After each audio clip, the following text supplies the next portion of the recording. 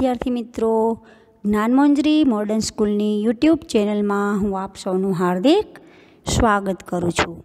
આજે તારીખ પંદર નવ બે હજાર વીસ, મંગળવાર, ધોરણ ચાર. બાળકો, આપણે ધોરણ ચારમાં ગુજરાતીમાં છ પાઠ સુધી સરસ રીતે શીખી ગયા છીએ. હવે આપણે આજે સાતમો પાઠ શીખવાનો છે. પાઠનું નામ શું છે? કલાકારની ભૂલ. હા, બાળકો, પહેલાં તો તમને હું કલાકાર એટલે શું એ સમજાવું? જો બાળકો, કલા એક એવી વસ્તુ છે કે જે બધામાં નથી હોતી, બધામાં એક સરખી નથી હોતી. જે વ્યક્તિમાં બીજી વ્યક્તિઓ કરતાં કંઈક અલગ જ આવડત હોય, અલગ જ સૂઝ હોય, એને કહેવાય કલા. કોઈ ચિત્રકાર હોય, કોઈ સંગીતકાર હોય, કોઈ ગાયક કલાકાર હોય, કોઈ ગાયક કલાકાર હોય, કોઈ તબલાવાદક હોય, ઘણા બધા માણસોમાં અલગ અલગ આવડત હોય છે, અલગ અલગ સૂઝ હોય છે. હવે આને આપણે શું કહેવાય? કલા કહી શકીએ. હવે જુઓ, તમને જે આવડે છે એ મને નથી આવડતું અને મને જે આવડતું હોય એ તમને નથી આવડતું. બધામાં કંઈક અલગ અલગ સૂઝ, અલગ અલગ આવડત હોય છે. પિક્ચરના હીરો હોય છે, એને પણ આપણે કલાકાર કહીએ છીએ.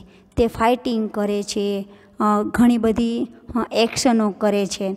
આવી રીતે કોઈ પણ વ્યક્તિ પોતાની સરસ આગવી સૂઝથી, આગવી કલાથી જે માણસોને પોતાની તરફ આકર્ષે છે, તેને કલા કહેવાય છે. બરાબર? હવે આપણે આ પાઠ શરૂ કરીએ. એક કલાકાર હોય છે. મોહન નામનો કલાકાર હોય છે. તે સરસ મજાની મૂર્તિ બનાવતો હોય છે. જો જે લોકો શિલ્પી કલાકાર શિલ્પી એટલે કે કોઈ પથ્થરની મૂર્તિ ઉપર ઝીણી ઝીણી કોતરણીથી મૂર્તિઓ બનાવતો હોય તેને પણ કલાકાર કહેવાય છે. બરાબર? હવે જો, અહીંયા એક મોહન નામના કલાકારની જ વાત છે. હવે મોહન નામનો કલાકાર છે ને સરસ મજાની મૂર્તિઓ બનાવતો હોય છે. હવે એક વખત તેને સપનું આવ્યું કે હવે મારું મૃત્યુ થવાનું છે. તેથી તેણે શું કર્યું? કે એને પોતાને મરી નહોતું જવું. તેથી તેણે શું કર્યું? સરસ મજાની પોતાના જેવી જ આપેહૂબ દસ મૂર્તિ બનાવી. કેટલી મૂર્તિ બનાવી? દસ મૂર્તિ બનાવી. અને એવી મૂર્તિ બનાવી કે યમદૂત પોતે પણ આવે ને તો એને ઓળખી ન શકે કે આમાંથી સાચો મોહન કયો છે. પછી યમરાજાએ તો યમદૂતને મોકલ્યો કે, જાઓ ભાઈ, આજે મોહનનો વારો છે. એનું આયુષ્ય હવે પૂરું થઈ ગયું છે. એમ કરીને યમદૂતને મોકલે છે. પરંતુ મોહને તો એટલી મસ્ત આબોહૂબ મૂર્તિ બનાવી હતી. તેથી યમદૂત ખુદ પણ આ મોહનને પકડી ન શક્યો, ગોતી ન શક્યો, ઓળખી ન શક્યો. તેથી તે તો યમદૂત પાછો ગયો અને યમરાજને કહે છે કે હું યમદૂતને લઈને આવ્યો નથી, કારણ કે હું તેને ગોતી જ ન શક્યો. મને એ ઓળખાયો જ નહીં. પછી યમદૂતે એક યુક્તિ કરી. તે આ મોહનને કહે છે કે તારી એક આ મૂર્તિ બનાવવામાં ભૂલ રહી ગઈ છે. તેથી મોહનને થયું કે હવે ખરેખર મારાથી નહીં રહેવાય, મારે એને જવાબ તો આપવો જ પડશે. તેથી તે બોલી ઉઠ્યો કે યમદૂત, મારી શું ભૂલ રહી ગઈ છે? આથી યમદૂતે તેને પકડી પાડ્યો. એટલે જે કલાકાર હોય છે એ પોતાની કલા વિશે કાંઈ ખરાબ તો સાંભળી શકતો નથી. ચલો, હવે આપણે પાઠ વાંચીએ. મૂર્તિઓ બનાવનાર એક શિલ્પી હતો. કોણ હતું? શિલ્પી. શિલ્પી એટલે જે પથ્થરની મૂર્તિ ઉપર ઝીણી ઝીણી કોતરણી કરીને જે મૂર્તિઓ બનાવે છે એને શિલ્પી કહેવાય. એનું નામ તુલમોહન હતું. લોકો એને મોહન કહીને જ બોલાવતા હતા. એનું નામ તો તુલમોહન હતું, પરંતુ તેને ટૂંકાણમાં મોહન કહીને બોલાવતા હતા. મોહન અદ્ભુત અને આબેહૂબ મૂર્તિઓ બનાવતો. કેવી મૂર્તિ બનાવતો? બહુ સરસ મૂર્તિઓ બનાવતો કે જોતાં જ માણસોને ગમી જાય એવી સરસ આબેહૂબ મૂર્તિઓ બનાવતો. તે મૂર્તિઓ જોઈને ભલભલા દંગ રહી જતા. ભલભલાને આશ્ચર્ય થતું કે અરે વાહ, આવી સરસ મૂર્તિઓ બનાવે છે. એક વખત તેણે પોતાના એક મિત્રની મૂર્તિ બનાવેલી. કોની મૂર્તિ બનાવેલી? તેના મિત્રની. મિત્રની મૂર્તિ જોઈને શિલ્પીના મામાએ મીઠાઈ અપાવવા માટે મિત્રને બજારમાં લઈ જવા કેટલોય આગ્રહ કર્યો, પણ કાંઈ મૂર્તિ ચાલે ખરી? જો મોહને કેવી મૂર્તિ બનાવી હતી? બહુ સરસ મૂર્તિ બનાવી હતી. આ જોઈને શિલ્પીના મામાએ મીઠાઈ અપાવવા માટે મૂર્તિને કહ્યું, પરંતુ મૂર્તિ કાંઈ થોડી ચાલે? એવી સરસ મૂર્તિ બનાવી હતી કે આપણને એમ જ લાગે તે માણસ જ છે. આખરે મામાને જાણ થઈ કે આ તો પથ્થરની પ્રાણ વગરની મૂર્તિ છે. મામાને થયું કે આ મૂર્તિ કાંઈ ચાલે નહીં, આ તો પથ્થરની મૂર્તિ છે, તેમાં કાંઈ પ્રાણ છે નહીં. હવે મોહને એક વખત ઘરના દ્વાર પાસે ચોકીદારની મૂર્તિ બનાવી અને મૂકી દીધી. શું કર્યું? મોહને એક ચોકીદારની મૂર્તિ બનાવી. એ મૂર્તિ જોઈને મોહનને ત્યાં ચોરી કરવા આવેલા ચોર પણ ભાગી ગયા હતા. શું થયું? મોહને પોતાના ઘરના દરવાજે ચોકીદારની મૂર્તિ મૂકી દીધી હતી. તેથી ત્યાં ચોરી કરવા આવેલા ચોરને પણ એમ થયું કે આ તો ખરેખર સાચી વ્યક્તિ ઊભી છે. તેથી તેના ચોર પણ ભાગી ગયા. મોહને ઘણા લાંબા સમય સુધી મૂર્તિઓ બનાવ્યા કરી. ઘણા સમય સુધી એણે મૂર્તિઓ બનાવ્યા કરી અને તે મૂર્તિઓ બનાવતા બનાવતા વૃદ્ધ પણ થઈ ગયો. આખરે સમય જતાં એ વૃદ્ધ થવા લાગ્યો. અને વિચારવા લાગ્યો કે હવે ગમે ત્યારે મૃત્યુ આવશે, મરવું તો પડશે જ. શું વિચારે છે? કે હવે તો હું વૃદ્ધ થઈ ગયો, મારે તો ગમે ત્યારે મરવું પડશે. મૃત્યુ આવશે એટલે મરવું તો પડશે જ તે. એને વિચાર આવ્યો કે મારે કોઈ એવું કાર્ય કરી લેવું જોઈએ કે લોકો મને વર્ષો સુધી ન ભૂલે. શું વિચાર્યું તેણે? કે મારે એવું સારું કામ કરવું છે કે લોકો મને વર્ષોના વર્ષો સુધી ભૂલી ન શકે. વિચાર કરતાં કરતાં તેણે પોતાના રૂપ, રંગ અને આકાર ધરાવતી દસ મૂર્તિઓ બનાવી. શું કર્યું? તેણે પોતાના જેવી જ રંગ, રૂપ, આકાર બધું તેના જેવું જ આ બે હું મોહન જ જોઈ લ્યો. એવી એણે દસ મૂર્તિ બનાવી. ધારી ધારીને બરાબર જઈએ તો પણ મૂર્તિઓમાં અને મોહનમાં કોઈ તફાવત ખ્યાલમાં ન આવે એવી કળા એની પાસે હતી. શું કહે છે? કે આપણે ગમે તેટલું ધારી ધારીને જોઈએ, તો પણ આપણને ખ્યાલ ન આવે કે આ મોહન છે કે તેની મૂર્તિ છે. એટલી સરસ કળા એની પાસે હતી. એક દિવસ મોહનને રાત્રે સ્વપ્ન આવ્યું કે કાલે તેનું મૃત્યુ થવાનું છે. શું થયું? મોહનને સપનું આવે છે કે આવતીકાલે તો મારું મૃત્યુ થવાનું છે. તેણે એક તરકીબ વિચારી કાઢી. શું કર્યું? તેણે એક યુક્તિ વિચારી. એ બીજે દિવસે પોતાની બનાવેલી મૂર્તિઓની વચમાં ઊભો રહી ગયો. તેને જે દસ મૂર્તિઓ બનાવી હતી ને, એ મૂર્તિની વચ્ચે તે ઊભો રહી ગયો, કારણ કે તેને પોતાના જેવી જ મૂર્તિ બનાવી હતી. મોહનને લઈ આવવા યમરાજે પોતાના દૂતને મોકલ્યો. શું થયું? તેનો મૃત્યુનો ટાઈમ નક્કી થઈ ગયો હતો. એનું આયુષ્ય પૂરું થઈ ગયું હતું. તેથી યમરાજાએ તેને યમદૂતને મોકલ્યો. દૂત મોહનના ઘરે આવ્યો. યમદૂત મોહનના ઘરે આવ્યો. જોયું, તો એક સાથે અગિયાર મોહન ઊભા હતા. કેટલા મોહન છે? અગિયાર. દસ તો તેણે તેના જેવા બનાવ્યા હતા અને અગિયારમો પોતે જઈને ઊભા ઊભો રહે છે. હવે દૂતને નવાઈ લાગી. એ સાચા મોહનને ઓળખી શક્યો નહીં. શું થયું? યમદૂતને તો નવાઈ લાગી. કે આ શું? એક સાથે અગિયાર મોહન? આમાં સાચો મોહન કયો હશે? યમદૂત તો મોહનને ઓળખી જ ન શક્યો. એટલે ખાલી હાથે યમરાજની પાસે ગયો. ક્યાં પાછો ગયો? યમદૂત તો પાછો યમરાજ પાસે ગયો. અને યમરાજને બધી વાત કરી કે મોહને તો તેના જેવી દસ મૂર્તિઓ બનાવી છે, પરંતુ હું એમાંથી એને એકેને ઓળખી શક્યો નહીં.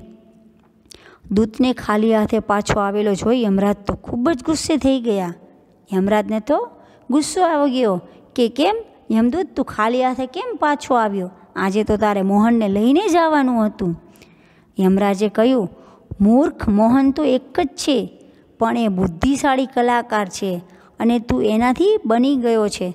શું કહે છે યમરાજા? અરે મૂર્ખ, મોહન તો એક જ છે, પરંતુ એ ખૂબ જ બુદ્ધિશાળી છે.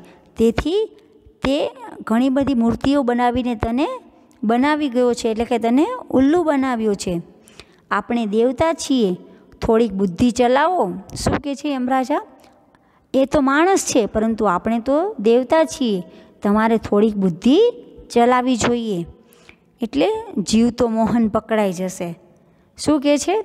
યમરાજા કહે છે કે થોડી બુદ્ધિ ચલાવશો તો જરૂર મોહન પકડાઈ જશે. એનું આયુષ્ય પૂરું થઈ ગયું છે, એટલે એને જીવતો રાખવાનો નથી.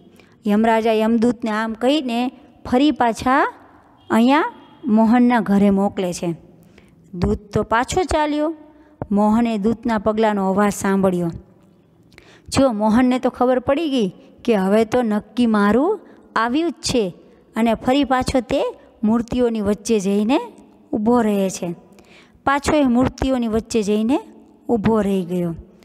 દૂત આ વખતે એક પછી એક મૂર્તિને શાંતિથી જોવા લાગ્યો. યમદૂતે શું કર્યું? જે દસે દસ મૂર્તિઓ હતી અને એની વચ્ચે મોહન ઊભો રહ્યો હતો, એ બધાને, બધી મૂર્તિઓને એક પછી એક શાંતિથી જોવા લાગ્યા. એ જાણતો હતો કે આમાં એક તો જીવતો મોહન છે જ તે. યમદૂતને શું થયું? કે આ બધી મૂર્તિઓમાં એક તો જીવતો મોહન નીકળવાનો જ છે. જો કે બધી મૂર્તિઓ પણ જીવંત જ લાગતી હતી. મોહને કેવી મૂર્તિ બનાવી હતી? આબેહૂબ મોહન જ જોઈ લ્યો. જાણે બધામાં જીવ જ હોય. પરંતુ જીવ હતો નહીં. એ એકદમ સ્થિર થઈને ઊભી હતી. પરંતુ આપણને એમ જ લાગી કે આ ખરેખર જીવંત જ છે. મોહન પણ આંખ પટપટાવતો જ ન હતો. શું કર્યું? તેને યમદૂતની સાથે જવું ન હતું. તેથી મોહન પણ મૂર્તિની જેમ સ્તબ્ધ થઈને તેની વચ્ચે ઊભો રહ્યો. દૂત સાવ ધીમેથી બોલ્યો કોણ બોલે છે? યમદૂત ધીમેથી બોલે છે, ભાઈ, મોહન, તું ચતુર છો, કલાકાર છો. મૂર્તિઓ સર્જવામાં નિષ્ણાત છો, પણ મૂર્તિમાં એક ભૂલ રહી ગઈ છે. કોણ બોલે છે? યમદૂત કહે છે કે, મોહન, તું ઘણો ચતુર છે, હોશિયાર છે, કલાકાર છે. મૂર્તિઓ બનાવવાનો તું નિષ્ણાત છું. ખરેખર બહુ જ હોશિયાર છું. છતાં પણ આ મૂર્તિમાં એક ભૂલ રહી ગઈ છે. ખરેખર ભૂલ હતી નહીં? પરંતુ યમદૂતને શોધવા માટે આ મોહનને શોધવા માટે યમદૂત આ વાક્ય બોલે છે કે મૂર્તિમાં એક ભૂલ રહી ગઈ છે. જો એ ભૂલ ન હોય તો તારી બધી મૂર્તિઓ જીવંત લાગત. કોણ કહે છે? યમદૂત કહે છે કે જો આ મૂર્તિમાં ખરેખર એક ભૂલ ન હોત ને, તો આ બધી જ મૂર્તિઓ જીવંત લાગત. પણ એ ભૂલને લીધે આ મૂર્તિઓની કિંમત સાવ તુચ્છ છે. હવે યમદૂત શું કહે છે? કે આ તારી એક ભૂલ રહી ગઈ છે, તેથી તે આ મૂર્તિઓની કિંમત એકદમ નજીવી બની ગઈ છે, તુચ્છ બની ગઈ છે. મોહન આ વાત સાંભળીને રહી ન શક્યો. એ એકદમ બોલી ઉઠ્યો સી ભૂલ છે? શું થયું? ખરેખર ભૂલ તો હતી જ નહીં, પરંતુ યમદૂતે મોહનને શોધવા માટે તેની ભૂલ બતાવી હતી. પરંતુ આ સાંભળીને મોહનથી રહેવાનું નહીં. એ તો બોલી ઉઠ્યો કે, શું ભૂલ છે? દૂતે તરત જ મોહનને પકડી લીધો અને કહ્યું કે બસ આ એક જ ભૂલ છે. ખરેખર માણસ પોતાની બુરાઈ સાંભળી શકતો નથી. અને દૂતે તરત જ મોહનને કીધું કે બસ આ એક જ તારી ભૂલ હતી, આ એક જ તારી ખામી હતી. અને દેવદૂત તરત મોહનને પકડીને લઈ ગયો. બાળકો, કેવો લાગ્યો આ પાઠ તમને? બહુ સરસ હતો. બરાબર ને? ચલો, હવે આપણે શબ્દોની સમજૂતી શીખીએ. કલાકાર. કલાકાર એટલે કલાનું સર્જન કરનાર. શિલ્પી એટલે કે મૂર્તિઓ બનાવનાર. આબેહૂબ એટલે કે હુબહુ. હુબહુ એટલે ખરેખર એના જેવું જ ત્રાદસ દ્વાર. દ્વાર એટલે બારણું. તફાવત. તફાવત એટલે ભેદ અથવા જુદું. તરકીબ. તરકીબ એટલે યુક્તિ. યમરાજ. યમરાજ એટલે મૃત્યુનો દેવ. ખાલી હાથે એટલે કે કશું લીધા વગર અથવા લીધા સિવાય. દેવતા એટલે કે દેવ. નિષ્ણાત. નિષ્ણાત એટલે નિપુણ અથવા હોશિયાર.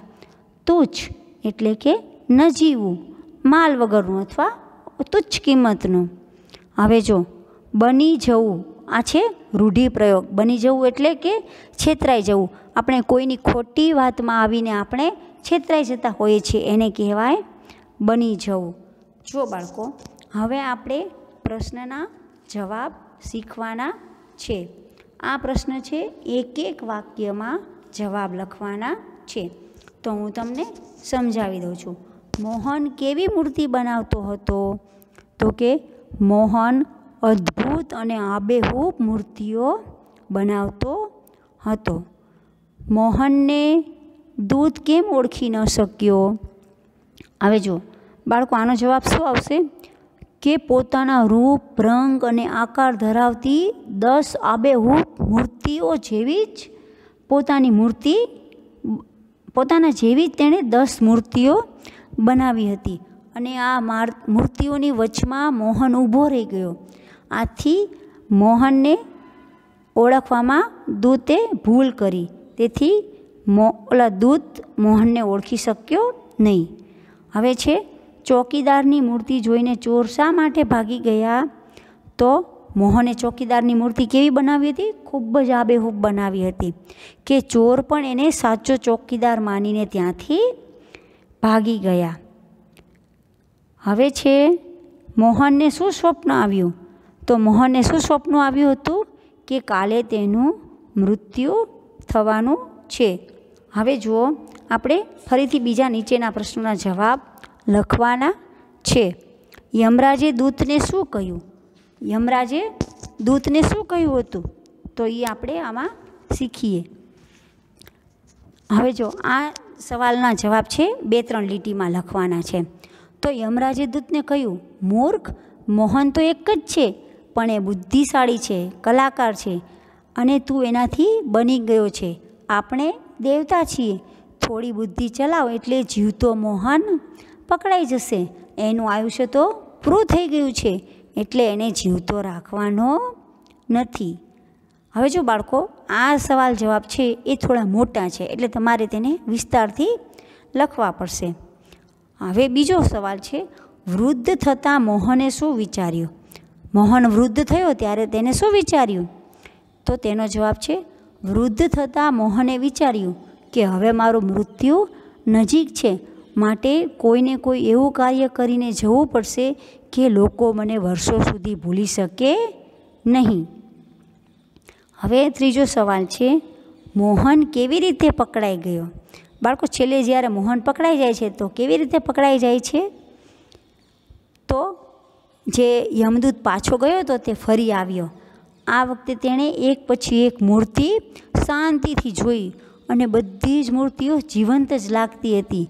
મોહન પણ આંખ પટાવતો ન હતો. તેની વચ્ચે જ ઊભો હતો. છતાં પણ મૂર્તિની જેમ સ્તબ્ધ થઈને ઊભો હતો. એટલે યમદૂત પણ ઓળખી નહોતો શકતો. પછી દૂધ ધીમેથી બોલ્યો, ભાઈ મોહન, તું આટલો ચતુર છે. છતાં પણ તે મૂર્તિ બનાવવામાં તારી એક ભૂલ રહી ગઈ છે. આ સાંભળી મોહનથી રહેવાયું નહીં અને તે બોલી ઉઠ્યો કે શું ભૂલ છે? આ રીતે મોહન પકડાઈ ગયો. હવે જુઓ, કલાકાર મોહન વિશે ચાર પાંચ વાક્યો તમારે લખવાના છે. તો તમારે આ પાઠ પરથી તમને વાક્ય બનાવતા આવડવું જોઈએ. હવે તમે ચાર પાંચ વાક્યો બનાવજો. હવે જુઓ, આપણે સમાનાર્થી શબ્દો આપેલા છે. દ્વાર. દ્વાર એટલે કે દરવાજો. બીજું છે વૃદ્ધ. તો વૃદ્ધ એટલે ઘરડો. ત્રીજું છે યુક્તિ. તો કે યુક્તિ એટલે તરકીબ. ચોથું છે ચતુર. ચતુર એટલે કે હોશિયાર. એના પછી છે તુચ્છ. તુચ્છ એટલે હલકું, કે જેની કિંમત ખૂબ જ ઓછી છે. એવું. આંખ. તો આંખ એટલે નયન. હવે જો પાંચમો સવાલ છે, નીચેના શબ્દોના વિરોધી શબ્દો લખો. મરેલું, તો મરેલાનો વિરોધી શબ્દ શું થાય? જીવતું. બીજું છે, યુવાન, તો યુવાનનો વિરોધી શબ્દ ઘરડું અથવા ઘરડો. ત્રીજું છે, અશાંતિ, તો અશાંતિનો વિરોધી છે, શાંતિ. હવે છે, મૂર્ખ, તો મૂર્ખનો વિરોધી છે, સમજદાર. પાંચમું છે ઝડપી. તો ઝડપીનું વિરોધી શું થાય? ધીમું. હવે છે આવવું. તો આવવુંનું વિરોધી જવું. બરાબર? હવે જો બાળકો, નીચેના, નીચે આપેલા નમૂના પ્રમાણેના શબ્દો ખાલી જગ્યામાં લખો. હવે નમૂનો આપ્યો છે પગાર. તો પગારદાર. બરાબર? એ રીતે આપણે બનાવવાના છે. ચોકી. તો ચોકીદાર. કામ. તો કામદાર. એના પછી છે ધાર, તો ધારદાર. દુકાન, તો દુકાનદાર. હવે જુઓ, સાતમો પ્રશ્ન. શબ્દ રમતમાંથી પાઠમાં આવતા પાંચ શબ્દો શોધો અને વાક્યો બનાવો. જો બાળકો તમારે આમાંથી આ જે ચોકઠો આપેલો છે તેમાં એક એક અક્ષર પાઠમાં આવતા જે શબ્દો હોય, એ રીતે તમારે બનાવવાના છે. બરાબર? હવે જો, આપણે બરાબર એમ છે, તો તું કહે એ બરાબર. એ વાક્ય બનાવ્યું. હવે બીજું આપણે તરકીબ એવું બનાવશું. તો અઘરું કામ તરકીબથી કરી શકાય. તરકીબ એટલે કે યુક્તિ. હવે ત્રીજું દેવદૂત. દેવદૂત પણ આમાંથી મળશે આપણને શબ્દ. તો દેવદૂત દેવોની આજ્ઞાને અનુસરે છે. હવે ચોર. ચોર પણ આપણે આમાંથી ગોતી શકીએ. તો છેવટે ચોર પકડાઈ ગયો. હવે છે કલાકાર. તો આપણે વાક્ય બનાવી શકીએ. મોહન એક સરસ કલાકાર છે. બરાબર? હવે જો, હવે તમારા વિચાર લખો. હવે તમારા વિચાર શું છે? એ તો તમારે જ લખવા પડે. તો આમાં આ જે ત્રણ ચાર લીટી આપી છે, એમાં તમારે લખવાનું કે હું શિલ્પી હોઉં તો અને મારે બનવું છે. હવે જો, તમારે વિચારીને લખવાનું છે. બરાબર? હવે જુઓ, તો તમે શું કરો? દૂતની જગ્યાએ તમને મોકલવામાં આવે તો? શું તમે ખરેખર દેવદૂત છો? મોહનની જગ્યાએ તમે ઊભા હો તો? તો તમે શું કરો? બરાબર? હવે આ બધું તમારે વિચારવાનું છે. હવે જો, દૂતની જગ્યાએ તમને મોકલવામાં આવે તો તમે શું કરો? તો દૂધની જગ્યાએ તમને મોકલવામાં તો તમે રમૂજી ટૂચકો કરો અને મોહન તરત જ હસી પડે. મોહનની જગ્યાએ તમે ઊભા હો તો તો મોહનની જગ્યાએ તમે ઊભા હો તો તમે શું કરો ખબર છે? હરખાઈ જાઓ કે મારી કલા કેટલી સરસ છે. હું કેવી સરસ આબેહૂબ મૂર્તિ બનાવું છું. મને તો મોતનો જરાય ડર નથી. એમ કરીને તમે પકડાઈ જાઓ. બરાબર? છો બાળકો, આ પાઠ તમને ખૂબ જ ગમ્યો હશે. અને તમારે ઘરે ફરીથી આ પાઠ વાંચી અને બુક્સમાં આ જે પાઠની નીચે જે ખાલી જગ્યા, સાચા ખોટા વાક્યો બનાવવાનું અને સમાનાર્થી વિરોધી, એ બધું જ તમારે મમ્મી પપ્પાની બાજુમાં બેસીને લખવાનું છે. ફરી મળીશું. આવજો બાળકો. નમસ્તે.